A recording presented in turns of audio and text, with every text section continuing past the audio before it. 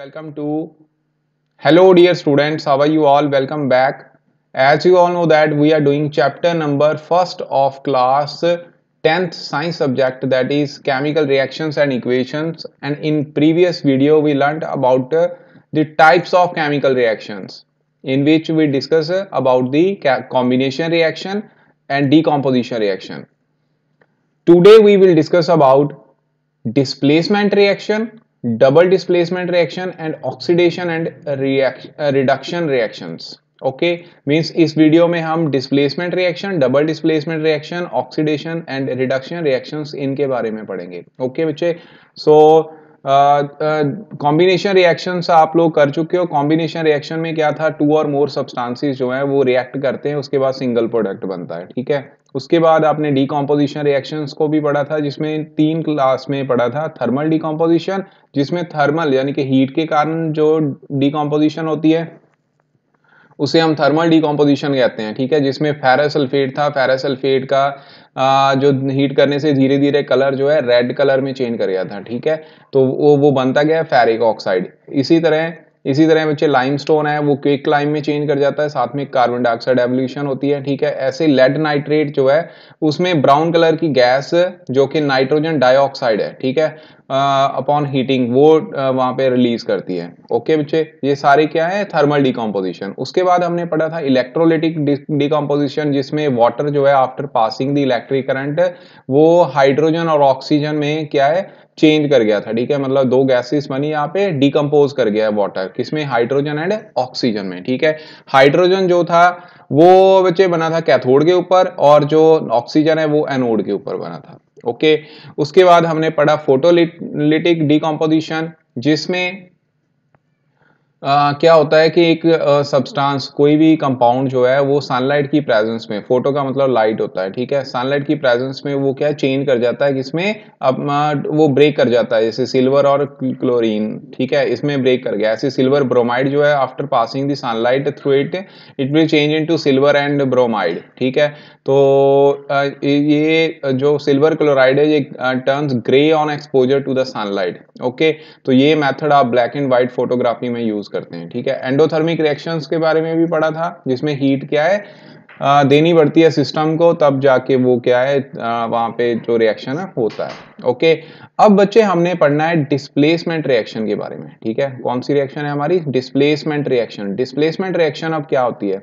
देखो, इसमें डिस्प्लेस नाम से क्लियर है। डिस्प्लेसमेंट किसी की, किसी को आपने डिस्प्लेस करना है मतलब रिप्लेस करना है, ठीक है?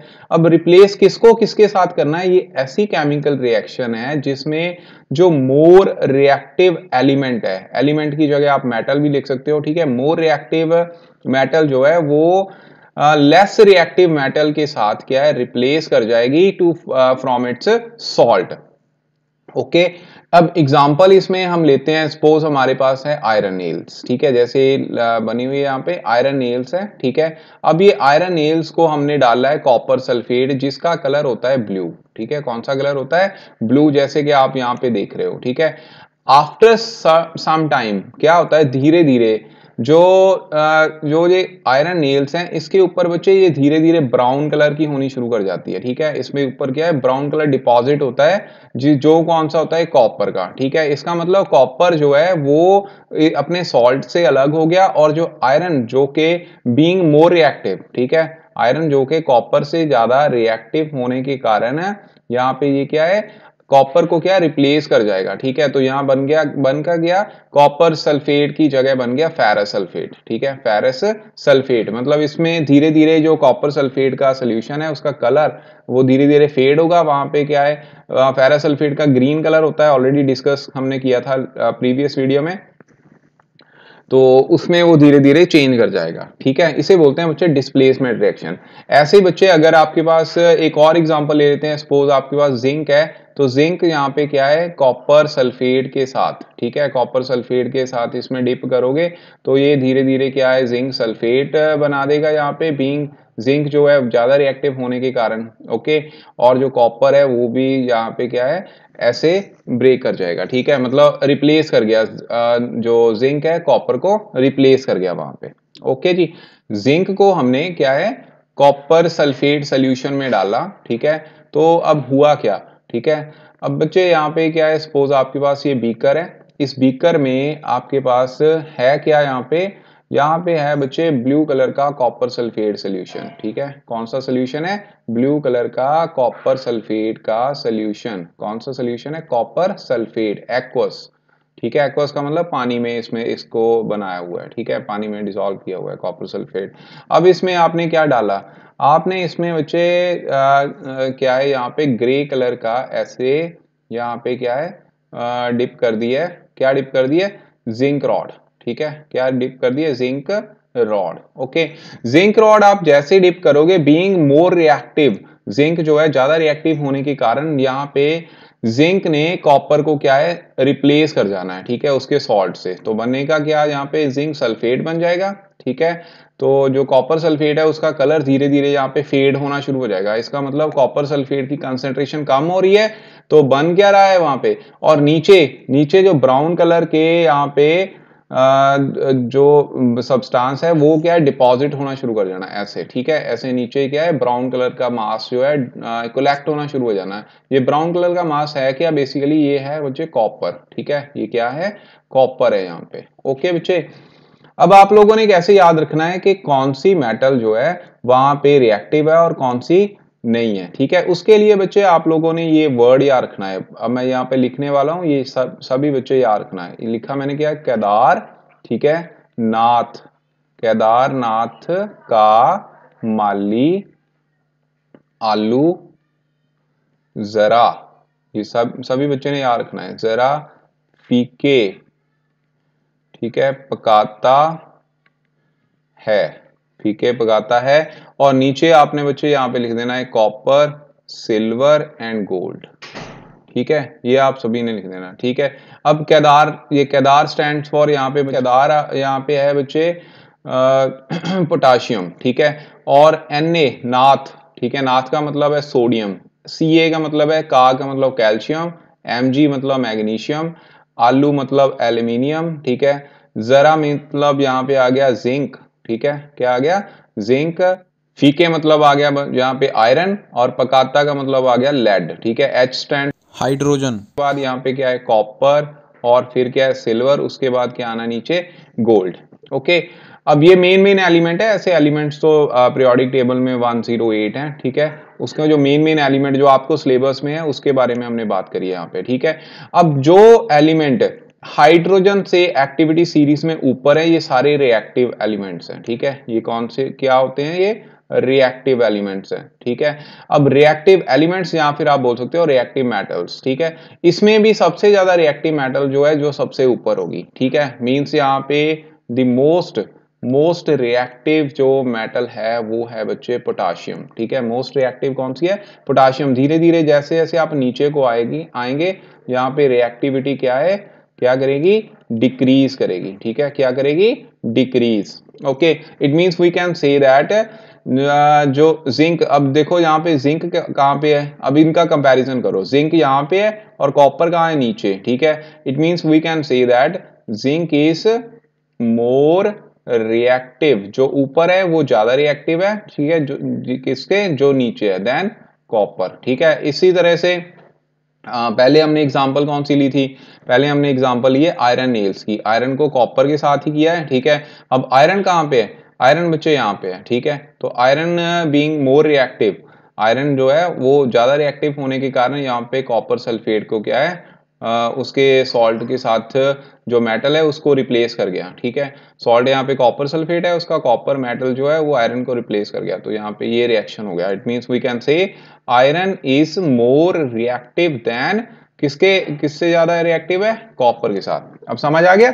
ये बच्चे आपकी एक्टिविटी सीरीज़ है। याद रखना सभी बच्चों ने। ओके जी? सो ये था बच्चे डिस्प्लेसमेंट रिएक्शन अब आगे नेक्स्ट है बच्चे डबल डिस्प्लेसमेंट रिएक्शन ठीक है? कौन सी रिएक्शन है?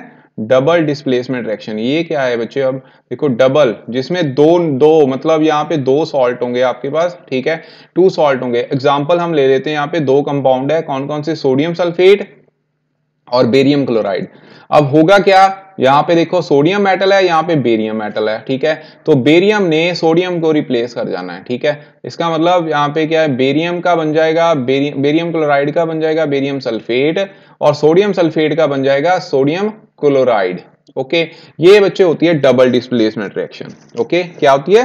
डबल डिस्प्लेसमेंट रिएक्शन इसमें इसके प्रेसिपिटेट ये सॉलिड फॉर्म में है, इसके प्रेसिपिटेट बन जाने, नीचे बैठ जाना है, ठीक है?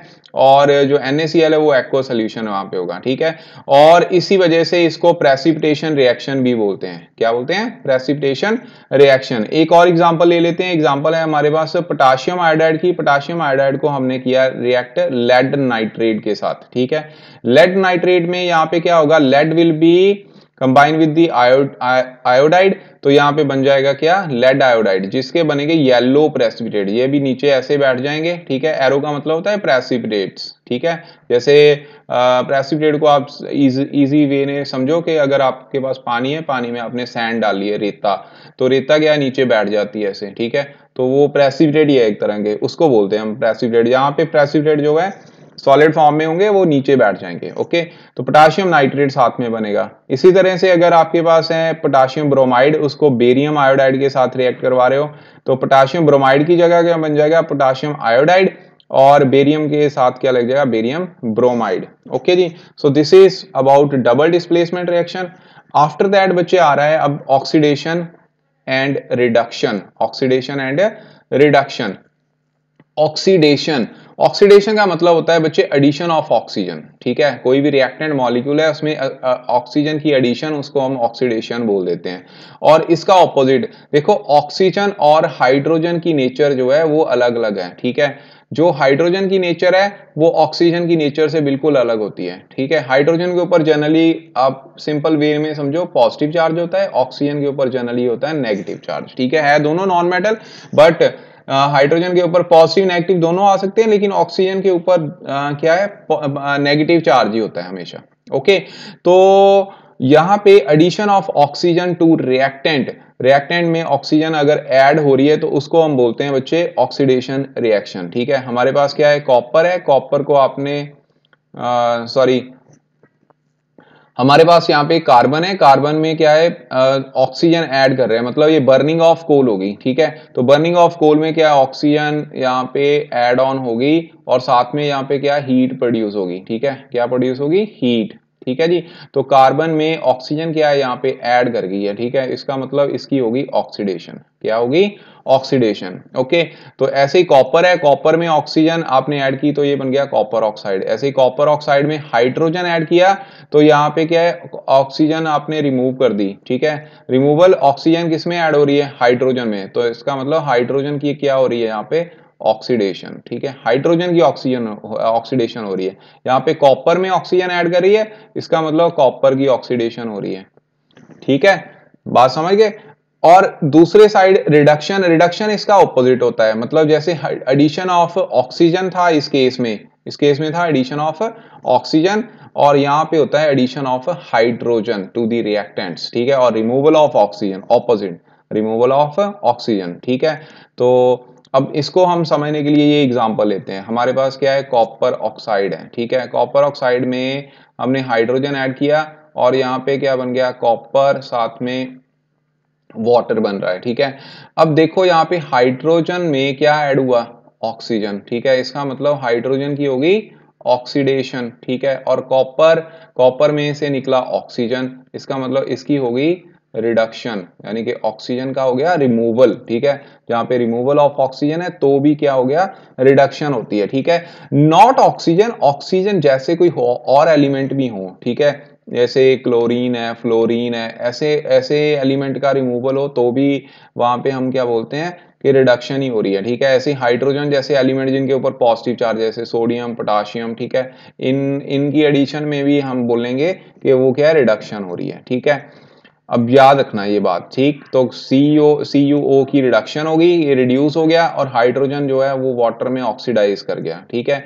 और इसमें बच्चे देखो, इसमें अब हम बात करेंगे ऑक्सीडाइजिंग एजेंट्स की भी, ठीक है? ऑक्सीडाइजिंग एजेंट ऑक्सीडाइजिंग एजेंट क्या होते हैं? विच प्रोवाइड विच प्रोवाइड जो हमें क्या है? ऑक्सीजन प्रोवाइड करेंगे एंड हेल्प टू और और बोल सकते हैं और एंड बोल सकते हैं, और और लिख लो यहाँ पे। और help to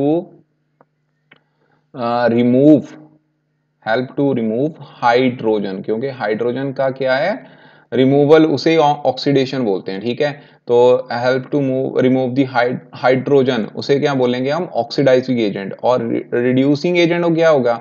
रिड्यूसिंग एजेंट बच्चे होंगे जो आ, जो क्या करेंगे?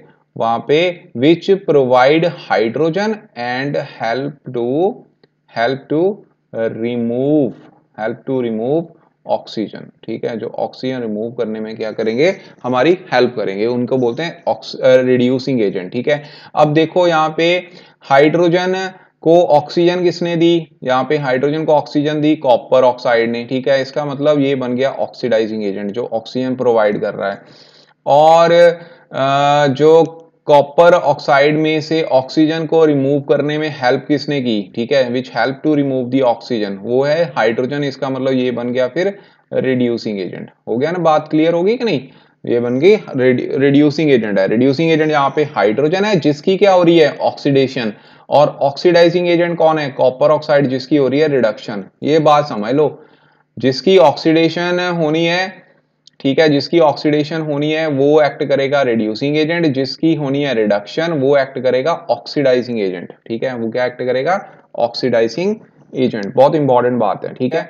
बच्चे, यहाँ पे ये वाली रिएक्शन में, जो हमने अभी ये रिएक्शन करी है इस रिएक्शन में आप एक चीज़ देखो कि ऑक्सीडेशन एंड रिडक्शन जो है, वो साइमल्टेनियसली हो रही है, ठीक है?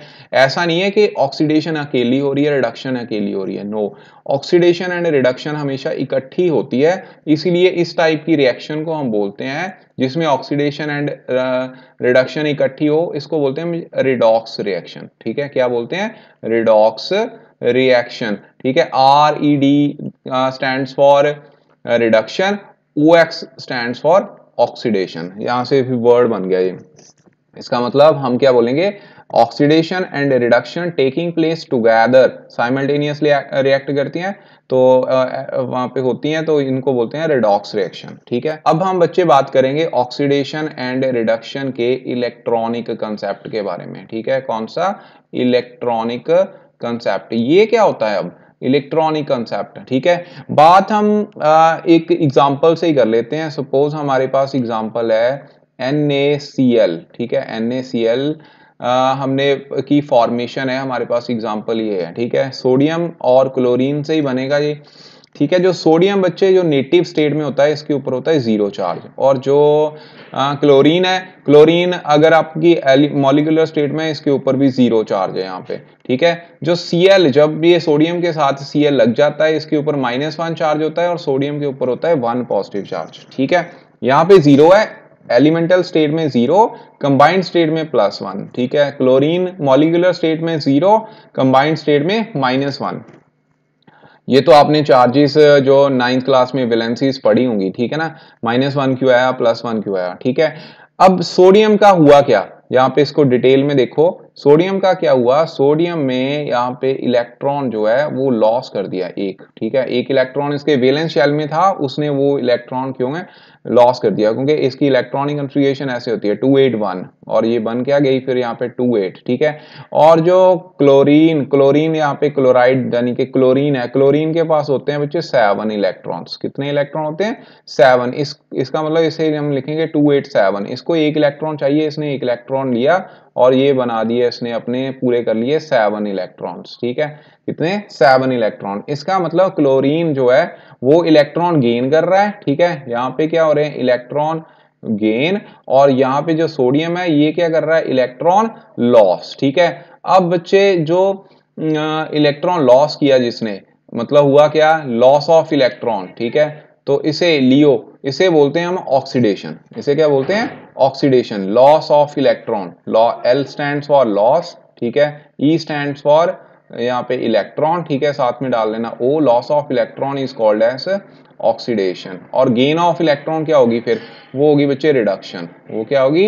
रिडक्शन मतलब मैंने बहुत डीप चीज़ बता दी आपको कि जिसमें इलेक्ट्रॉन का लॉस होता है, जैसे सोडियम का यहाँ पे इलेक्ट्रॉन का लॉस हो रहा है तो इसकी होगी ऑक्सीडेशन ये बच्चे ऑक्सीडेशन है, ठीक है? और क्लोरीन का क्या हुआ यहाँ पे? वन नेगेटिव बन गया तो ये बन गई रिडक्शन ठीक है? ये क्या बन गई? रिडक्शन सोडियम के लिए ये बन गया बच्चे ऑक्सीडाइजिंग एजेंट ठीक है? और क्लोरीन के लिए ये बन गया रिड्यूसिंग एजेंट ओके ये बन गया रिड्यूसिंग एजेंट ओके बच्चे? So this this is the basic points जहाँ इलेक्ट्रॉनिक कंसेप्ट है ऑक्सीडेशन एंड रिडक्शन के बारे में. आगे जाके भी आप पढ़ोगे, लेकिन हमने यहाँ पे भी इसके बारे में बात कर ली है, क्योंकि आगे metal and non metal chapter आएगा, उसमें भी आपको आना है फिर ये. बहुत इंपॉर्टेंट है, ठीक है? अभी से ही प्रिपेयर हो जाओ इसके बारे में, ठीक? तो ये नहीं है कि अकेला यही याद रखना कि ऑक्सीडेशन ऑक्सीजन की एडिशन हो गई, ठीक है? ऑक्सीडेशन ऑक्सीजन की एडिशन है तो इसका मतलब वहाँ पे सिर्फ़ यही जो है ऑक्सीडेशन कंसेप्ट होता है। नो इलेक्ट्रॉनिक कंसेप्ट भी होता है। होता सेम ही है ये।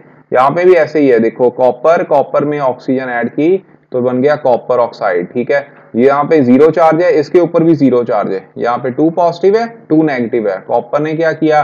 कॉपर के टू पॉजिटिव बन गया मतलब यहाँ पे दो इलेक्ट्रॉन का लॉस हुआ, ठीक है? तो लॉस हुआ तो ये बन गई ऑक्सीडेशन ये क्या बन गई? ऑक्सीडेशन ठीक है? ऑक्सीजन के ऊपर क्या हुआ? टू नेगेटिव चार्ज इसका मतलब उसने दो इलेक्ट्रॉन क्या किए? गेन किए तो ये बन गई रिडक्शन ये क्या बन गई? रिडक्शन ठीक है? तो यहाँ पे ये क्या हो क्या गई है? रिडॉक्स रिएक्शन रिडॉक्स रिएक्शन ठीक है? सो बच्चे, ये था वीडियो का पार्ट नंबर फाइव जिसमें हमने ये सारी displacement reaction double displacement reaction oxidation and reduction reaction पढ़ी। लास्ट जो टॉपिक होगा, वो हम कोरोजन के बारे में पढ़ेंगे, ठीक है? तो ये, वो हमारी नेक्स्ट वीडियो होगी कोरोजन एंड रेंसिडिटी इसके बारे में हम नेक्स्ट वीडियो में पढ़ेंगे, और लास्ट में हम करेंगे, फिर ये पार्ट नंबर सिक्स होगा। पार्ट नंबर सिक्स के बाद हम करेंगे फिर बैक एक्सरसाइज ठीक है? क्या करेंगे? बैक एक्सरसाइज ओके जी।